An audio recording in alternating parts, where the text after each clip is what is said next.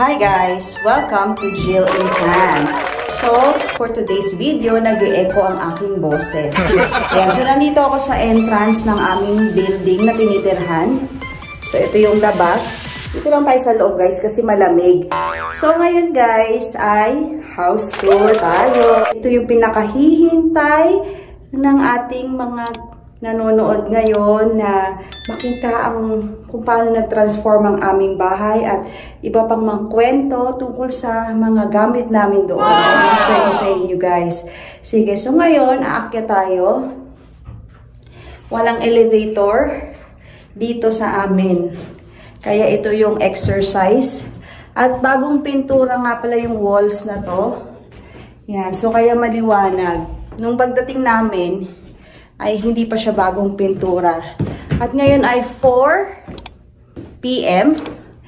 At itong, yan, that's 4 p.m. Kaya mag-vlog ako habang medyo maliwanag pa kasi mamaya, pag madilim na, madilim na sa loob ng bahay. Kasi yung mga bahay dito, wala namang mga na white light dun sa mga sala or sa dining. Yan, so dito tayo. Yan ang ating stairs na inakyat. Kasi by level to. Bali, dalawa, bali sa baba may nakatira. Apat na unit sa baba namin. Pero dahil by level yon so parang umakit ako ng hanggang second floor. Tapos sa third floor yung sa amin. So, pasok tayo guys. So, yung maganda dito, kahit may mga umakyat dito sa stairs, hindi namin naririnig kasi may door pa siya. Yan, may door pa. Punta dito. Yan. So, ito yung 1, 2, 3. Bakit 3 lang? Kala ko 4. Ay, 4 pala. Kasabi. Ito yung 4. Yan. So, pasok tayo dito, guys. Hi! Pwede bang pumasok? Yeah! Yan. So, guys, ito na yung front door namin. So, pagpasok mo dito, ay stairs. May stairs din dito sa kabila. Pero yung hello, hindi mo pa makikita kasi dapat sa sa front yan. So, yung hello, binigay lang sa amin to. Yan, yung mga friends namin dito sa church. Tapos dito, iniiwan yung mga shoes. Yan, so may rug tayo dito, may shoe rack. Pero medyo kulang pa to ha kasi sa dami namin eh. So ito tayo guys, meron tayong 1, 2, 3, 4, 5 steps pababa. So dito, pagbaba natin, makikita natin ang ating dining. So ito yung ating table, family table. At ito ay hindi namin binili guys. Pinahiram lang muna sa amin ng church namin. Pati yung chairs, yan. So, yan. Tapos dito, ano, kung mapapanood nyo guys yung aking house tour, ito, ito yung link ng aking house tour. Pero, ang nakatira pa nun, yung naunang owner nito. Or yung naunang tenant. So, ngayon, gamit na naman yung nandito. Yan. So, ito yung mga pang-winter namin, guys, nandito. Punong-puno ito, guys. Pero actually, kulang to para sa amin. Kasi ang daming mga nabibigay. Tapos dito sa baba, yung mga shoes. Yan yung mga boots. Tapos meron pang boots dito. Ito kaya nandito, dito nakalagay. Kasi hindi pa yan nagagamit. Pero once magamit na nila yan, hindi na yan pwede dyan. Dito na sa baba. Yan. So, ito yung mga pang winter. Napakadami. Okay. Tapos, punta tayo dito guys sa kitchen. Ito. So, from the dining, may kitchen tayo. Small kitchen lang to guys. Ganyan, oh small kitchen lang siya, perfect lang para sa nagsisimula at saka para mas madaling kumilos. Ito naman talaga yung gusto ko kahit noon pa na small kitchen, yung pag-ikot mo dito. Naguhugas ka, tapos nagluluto ka, tapos may hinihiwa ka dito, tapos may butas doon. May drive-thru counter kami dito.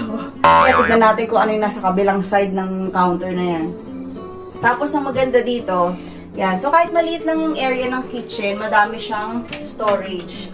So, ito, yan. So, yung mga plates, mga baso, yan, mga cups dito nakalagay. So, ganyan dito kasi wala na yung ano. Dito lang yung, dito lang yung dinadry. Tapos, pag nag-dry na siya, Nilalagay lang dito sa sa mga ano, ang tawag dito? Sa cabinet. Ayan. So, ito yung mga nilalaman.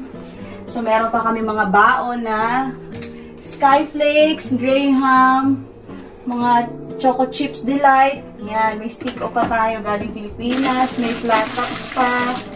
Yan. So, may mamon pa tayo. May molde mamon pa tayo, guys. Yan. So, at ito naman gusto ng anak ko magpabili ng Milo dito. Although may baon kaming Milo. Baka daw maubos na yung Milo niya. Tapos yan, yung egg. Hindi na namin sa ref nilalagay kasi mabilis na maubos siya kung masikip yung ref. Ito, bigay ng aking brother-in-law.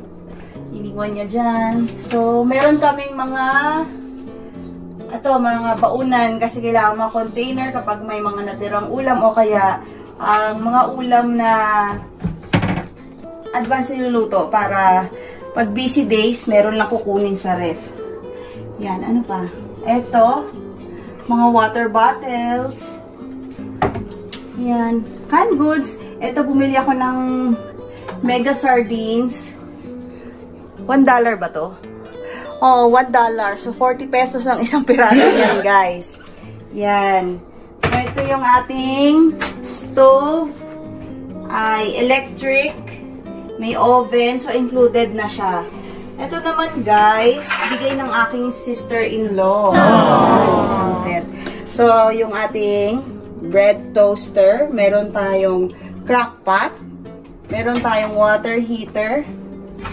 Ito naman bigay ng aking friend. Yan. So, friend, na gagamit ko na to.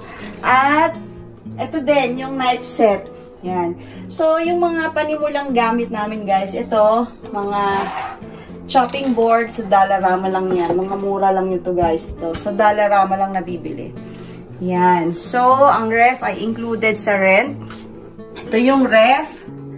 So, ito yung mga dinala namin Guys, ito yung mga dinala namin. Napakabigat nito. ito mga ref magnet namin. Marami pa dito sa side. So, meron pa dito sa side. Yan yung mga memories ng ating mga travels. Yan. So, yung microwave, iniwan na to ng dating tenant.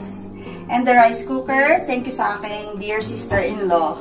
Yan. So, yung mga binigay niya sa amin. Tapos, ito palang curtain. Galing din sa dating tenant. So, lahat ng mga curtains dito galing sa dating tenant. Iniwan niya na. Okay, guys. So, let's go here. Yan. So, ito naman, yung CR. CR. Yan. So, CR namin. CR. Okay, so may blower sila. Thank you sa ating sponsor na sister-in-law. Yan, so dapat, so may blower talaga kami kasi maraming girls pagka umaga, kahit sabi ko huwag na maligo sa umaga, sa gabi maligo, sa umaga. So kailangan dry lagi yung hair pag aalis. Yan, tapos, ah, dito ay mayroong storage. So, marami pa kami mga gamit na kailangan. So, nandito yung mga ibang jacket. Ito yung mga ibang bagay, school stuff or kahit ano. Ito yung mga pang winter na mga mga hats, mga winter hats. Yan. Mga gloves nandito. Tapos, yung bags. Tapos, may shoes dito para kay Celestia. It's waiting. Yan, mga shoes na nag-aantay kay Celestial. Yan. So, dito pala guys, ay may surprise tayo dito. Ito yung tinatawag nat naming basement. Okay? So, bisitahin natin ang aming basement. Ito siya guys. Buksan ko muna yung ilaw. Yan ang aming basement. Okay, so hindi talaga siya basement. Isang room lang siya. Pagka sinasabi namin, saan nyo ilalagay yung gamit? So, sa basement. Yan. So, ito yung mga binigay sa amin. So, ito yung mga binigay sa amin, guys, na uh, medyo sobra-sobra na yung mga binigay sa amin. Pero ito, nagagamit na ito yung ang vacuum kasi sa second floor ay carpeted siya. At saka pag minsan kailangan din mag-vacuum para mas madali. So, ito galing sa friend ko. Tapos, ito isang box na mga damit na pang baby. Mayroon pang mga iba dito. Doon may mga damit din. Yan. So, yung iba, ibabalik din namin to sa ah, hindi sa nagbigay.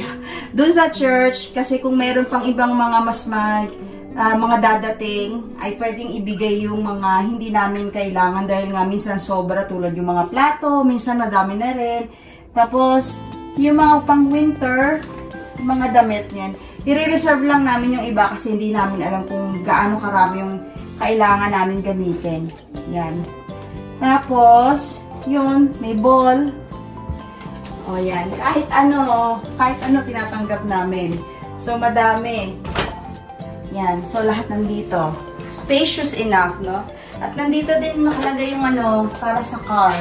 O, ayan. So, ito yung mga kailangan. Okay, so that's our basement. Ayan, guys. So, maliit lang ang aming bahay. That, that's enough for us sa aming newcomer. Okay, punta naman tayo sa sala, guys. Okay, guys. So, ngayon, dediretso tayo doon. So, dito tayo sa kitchen, sa dining. Papunta sa ating living room. So, dadaan tayo ng bathroom. Ito yung half bath na tinatawag kasi yung pang toilet lang siya. So, dito, tingnan natin ang ating family. Ayan, guys. Okay, si... Si my love. Okay. So, working daw siya ngayon. Yan. So, ito binili namin sa... Saan ba natin to binili? The, the store. Sa restore. So, ano na siya? Yung second hand.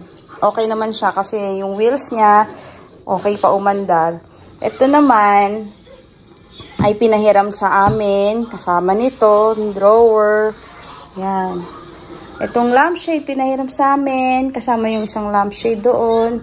Tapos yan, ito ang aming one and only clock in the house. So thank you sa ating uh, President and Sister Jed Lawrence D for this one. Yan. So ang, yan yung table. Tapos, itong chair na to. Yan. So, mga binigay sa amin. Ito ding snake plant. Binigay sa amin. Itong window na to ay leading sa ating balcony. Isang large and spacious. Spacious ba? Yan. Isang malaking window. Yan. So, pag maaraw, maganda talaga, no? Tapos, itong mga to, mga bottles yan. Yan yung mga pwedeng ibenta, di ba? Yung pinagkakitaan, pwede siyang exchange for some amount dito. Yan. So, medyo may snow na, guys. Yan. May screen din siya. Lamig. So, ito yon yan. So, mahaba yung ating balcony dito. Yung dating nakatira dito, yung mga paso niya, iniwan niya sa akin kasi marami siyang plants dito dati. So, hindi pa ako masyado nagpa-plants or anything. Kaya next time na lang. Ito lang munang snake plant ang aking baby for the ano, testing na to, na hindi siya mamamatay sa akin. So, yan. So, ito na guys yung ating drive-thru window. So, kung meron tayong order, o kaya, para hindi ka naiikot, ba diba? Tapos, dito na lang, ilalapag mo yung mga pinagkainan mo o kung merong ibibigay sa'yo na pagkain. Tapos, ito yung, yan, itong chair, mga binigay. So, ito naman yung mga yung mga iba pang mga jacket na ginagamit din namin. Yan, madami. Minsan naubusan na kami ng hanger. Okay? So, these girls. Okay? Say hi! Okay, so may couch kami dito. Of course. Donation. And the rug. At yung center table, naging TV table. So, ang binili lang na talaga namin dito ay itong TV. Yan. So, mga, ito lang yung binili namin. Dito sa sala, sa, sa couch, si Ate Sofia yung natutulog. Gusto niyang matulog dyan. Okay, meron siyang extra cabinet dito. Yan. So, dyan. Yan. So, yung, okay. So, akit naman tayo, guys. Pero last look tayo, guys.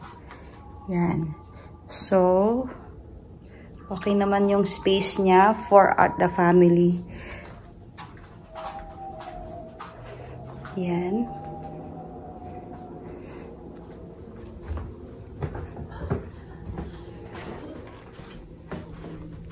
So, akit tayo guys. So, ganun din. Hindi naman nakakapagod yung...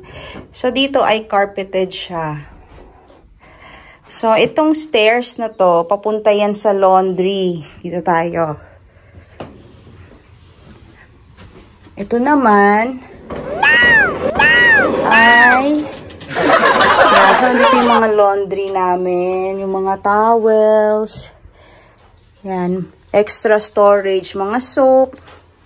So, dito. Yung soap namin, ito malaki. Powder. Binigay din sa amin yan. Yan. So,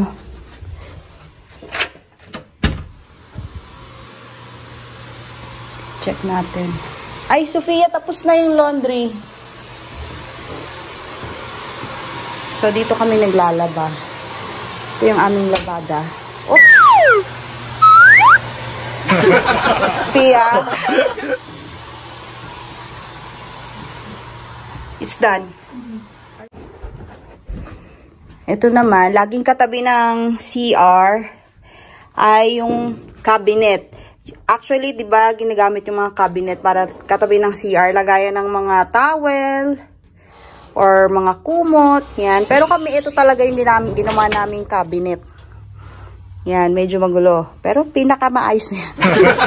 Ito yung ginamit namin cabinet kasi ayaw na namin bumili ng cabinet dahil mahirap maglipat dito. So, the CR, the toilet and bath. Yan guys, ang toilet and bath natin. Yan. Okay. So, okay naman siya. Spacious enough. At, Itong room na to, ang first room, ito yung smallest room. Room ng ating only boy. Yan. So, ito yung pillow niya kasi bago nilabhan yung ano, yung pillowcase. Pero ito, ang aking only boy, maayos talaga yan.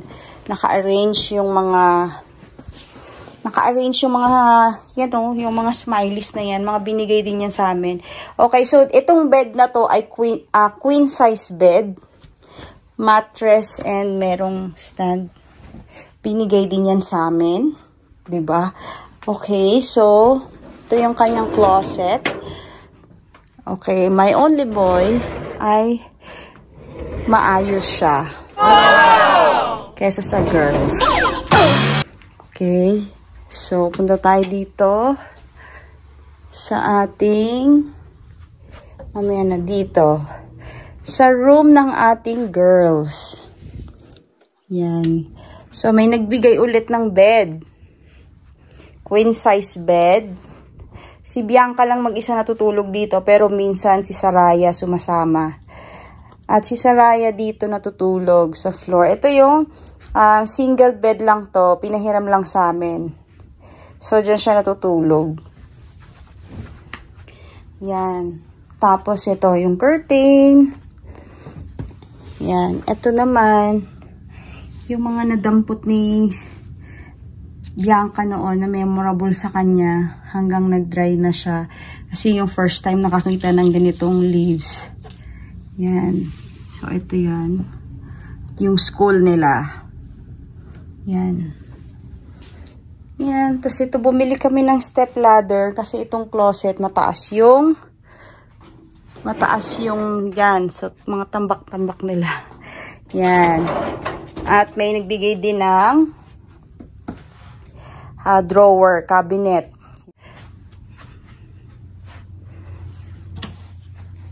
So, dito naman sa aming bedroom. Okay. So, ito, syempre, binigay din sa amin king size bed. Pati yung side table, yung lampshade. Itong Bat and Body, binigay din. Thank you sa nag-sponsor. Tapos ito, binili ni sister-in-law nung dumating sila dito. Para pang family, may extra table kaming malaki. So, minsan dito ako nagpa-vlog. If you remember, yung curtain na yan. So, nandito lang ako. Ito yung background ko. Yan. Ito lang yung room na white light. Kaya, hindi ako masyadong nahirapan. Tapos, yung closet. Yan. Yun guys. Hmm. Hindi pa masyadong maayos. At ang ating last door. Ating last door ay isang storage. So, ito, nandito yung mga books. Galing pa tong Philippines.